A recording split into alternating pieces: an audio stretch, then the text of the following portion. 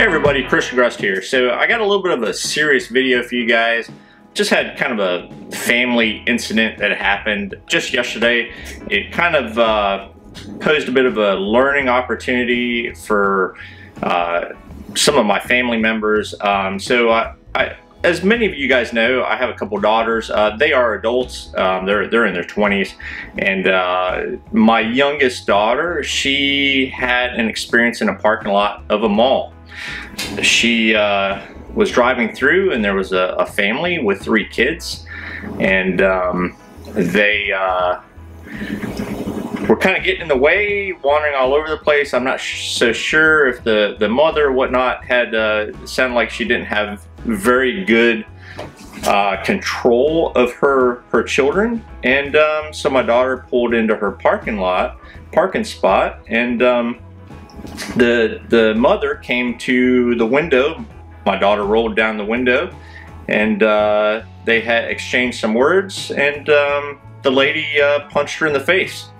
So, so a couple things can be learned from this. My daughter and I had some discussions. Um, uh, of course, she uh, she didn't respond back, um, which is probably a good thing. Uh, she is going to press charges, but. Uh, um, you know, things can escalate out of control uh, anywhere. And I, I, hate to say it, but sometimes um, it's best to not have any sort of confrontation.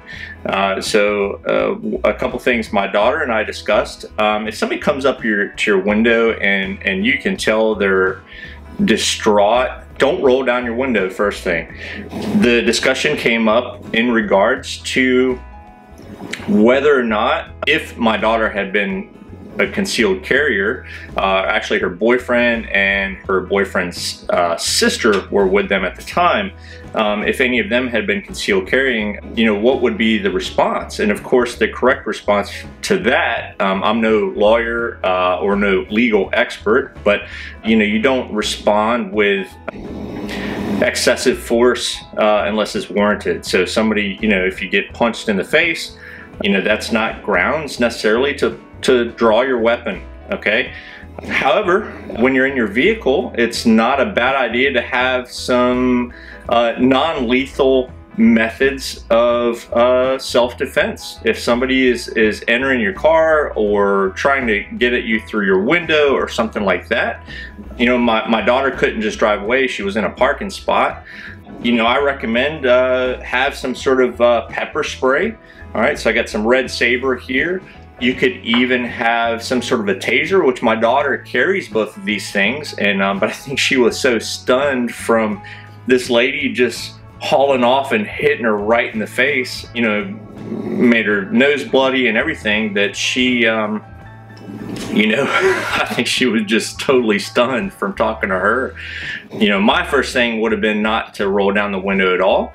Her uh, her boyfriend did you know he was quite distraught but uh, good on him for not not responding. And the lady's husband actually came and apologized but you know the damage is already done and um, you know there's no excuse for people to act like that. So you know I did encourage my daughter to uh, look you know you should file assault charges. The police were called and uh, my understanding she is going to follow through with that. Um, there's no there's no excuse for people to to act that way in in public and society.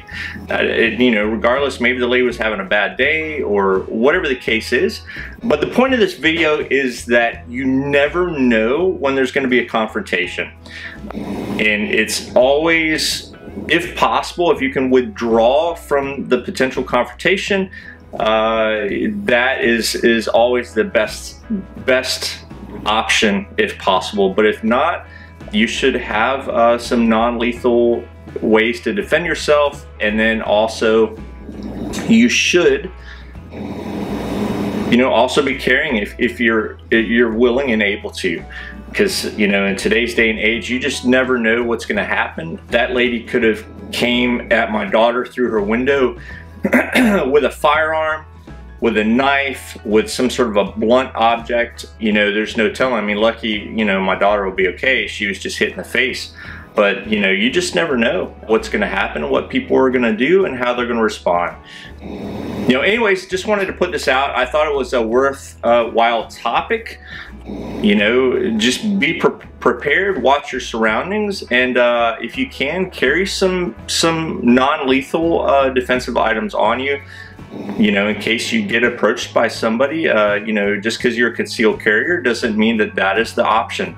Um, that is always a very, very last resort. And um, even to show the weapon in this situation, um, if my daughter had been concealed carrying, I think she would have been at fault. She could have been prosecuted for brandishing a weapon or, or what have you. So, yeah. So, all right. Anyways, that's about it. You know, again, just uh, keep your head on a swivel and you know just watch out for uh, your surroundings and people around you all right? Appreciate everybody watching subscribing you know hit that like button and uh, that notification icon and uh, subscribe if you're not already a su subscriber. You know I appreciate everybody watching subscribing and I will catch you all in the next video. Y'all take it easy